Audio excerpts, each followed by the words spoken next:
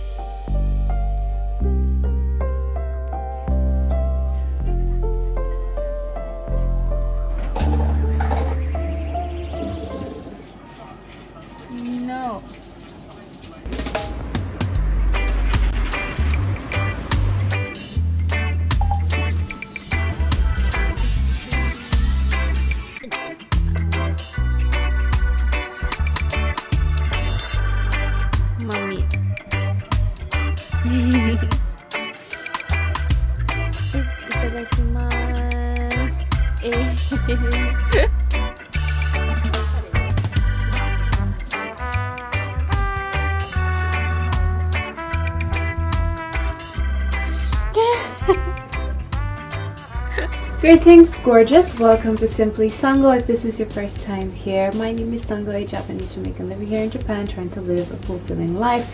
I post lifestyle and chit chat vlogs every Wednesday and Saturdays so far. If this isn't your first time here, welcome back. Welcome back. Ah, welcome. Okay. Bless up yourself. Thank you so much for coming back. Today is a midweek, weekday, national holiday kind of day. So we have a full day ahead of us. I wanted to take a rent a car and drive to one of my favorite breakfast places in Chigasaki but apparently all the rental cars in Tokyo are fully booked and we have no cars so we're gonna do something nearby. It's an exciting day and it's a very sunny and warm day so as you can see I'm wearing short sleeves and for my trousers I am actually wearing my usual Zara trousers. This time it's a beige one. We're gonna go see you on the road.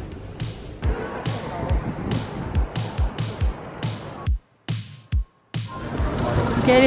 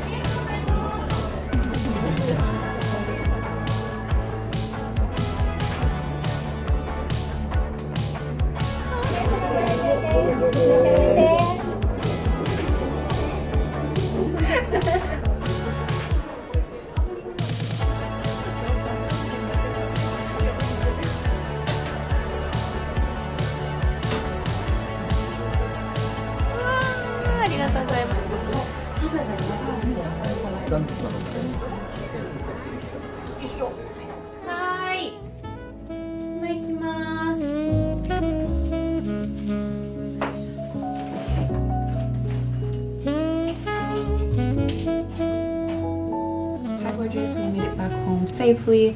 Back in my apartment, my castle, my palace, my safe home zone, safe zone, safe safe space. After getting sushi, um, we went to the bookstore.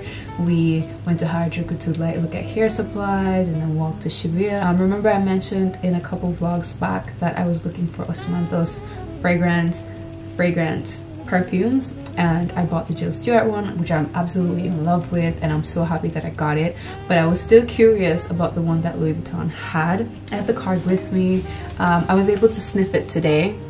It's called Etoile Filante and it has notes of osmanthus and this white flower, this white Chinese flowers and berries. But I feel like it's not the gentle, warm, sweet scent that I was going for and I wasn't really feeling a lot of the osmanthus. Meanwhile, the Jill Stuart one, the top note and the middle note has osmanthus so it's like all osmanthus and the last one is like some spice ones that I forgot what spice they used but yeah. I'll put the notes of the Jill Stuarts here. The top note the middle note and the was it bottom note or end note? I don't know. But yeah. And then for the Louis Vuitton one I was very curious because it's high-end and I thought it would be nice to have like a high-end brand perfume. I'm so glad that I was finally able to smell this because now I know that this isn't really my type of scent. Speaking of perfume, like perfect timing but earlier the postman came and delivered a package and I ordered a new bottle of perfume. It's not new, it's kind of second-handed but the person who had it before me only did one spray and didn't like it anymore. So they were like uh, I kind of have like this used bottle of perfume like would you like to buy it from me? And I was like sell me. That day when we went to Futako Tamagawa to get the Krispy Kreme donuts um, we stumbled upon this perfume cosmetic shop. It's a very old perfume shop. It's called Officine Universelle Buly it's supposed to be French so I'm I'm pretty sure that I'm butchering that pronunciation. I didn't know of this brand at all and we went in because it was fancy. It has this nice little antique retro vibe to it and I'm like, yeah, I would love to check it out. And we went in and um, oh my god, the fragrances they had were so mesmerizing and so nice. Um, apparently they are doing this collaboration with the Louvre um, Museum in France and they are they made a couple of perfumes that are in collaboration with like famous painting. The fragrance that i fell in love with and it's the la grande odalisque. I'm butchering the pronunciation. I am so sorry. And it's it's a very sensual scent. Um i think it was like rose spice or pink spice or something like that but oh my god.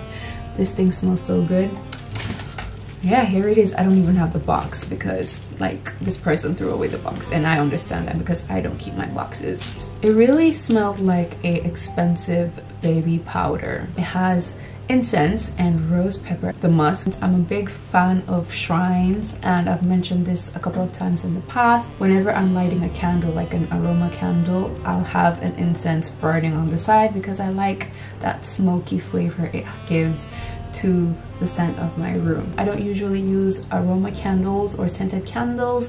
I usually use this aroma oil heater candle. It's like you light the candle in here as it heats up the oil. So you can change it up anytime you want. And I think these are way more sustainable. Um, so whenever I have this lit, I will have the incense on the side lit because I kind of like that sweet and smoky kind of smell as you can see like the bottle is white and you can't really tell what's like how much is in there but it's it feels quite heavy so I don't mind it.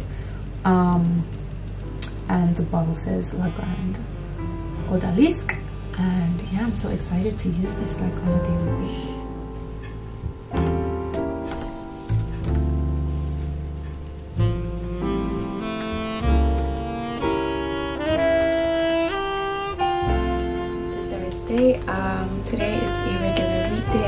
kind of speeding through work and all my tasks that I have for the day. I'm almost done. Um, it's about 2.40 p.m. right now. I'm usually just in like t-shirts and like a sweatpants when I'm at home working. Wearing this nice comfy sweatshirt from Nano, a brand, a Japanese brand called Nano. I think it was Nano. Yeah, it's Nano. It's a brand called Nano. Um, I found it at Book Off, which is a major thrifting franchise.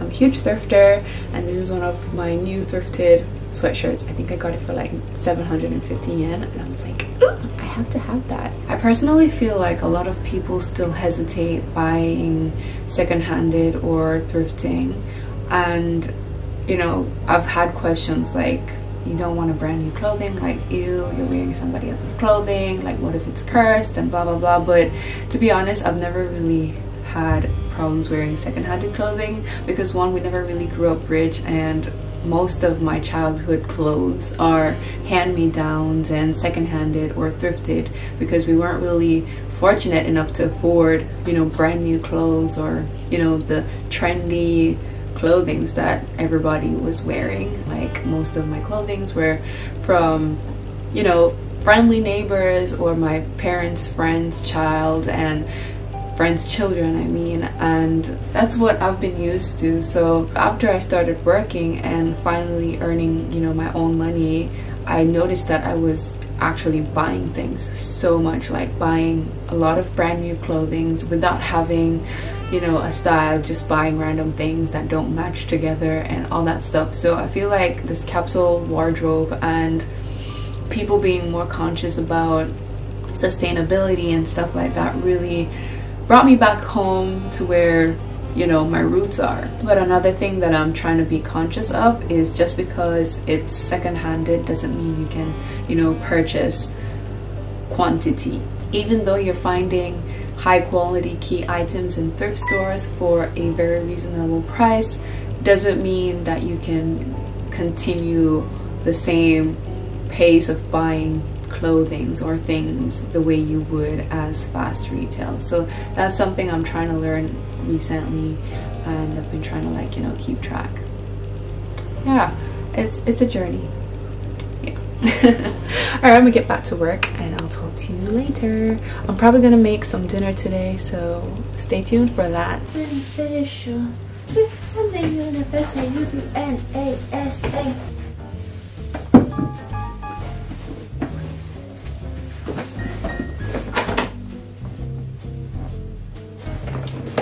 this little oven set. I don't have a bowl, I don't have a measuring cup, I don't have a spatula, I don't have um, a pie plate, and I don't have a mixing bowl. So I was like, okay, why not? I saw this video on Instagram of someone making macaroni and cheese, and I was like, I want some macaroni and cheese. Um, I looked for Kraft macaroni and cheese because I know people have mixed opinions about this, but I personally like macaroni and cheese from Kraft but um, as we all know it's really hard to find those here. So I'm gonna make my own. Yeah. Macaroni sour cream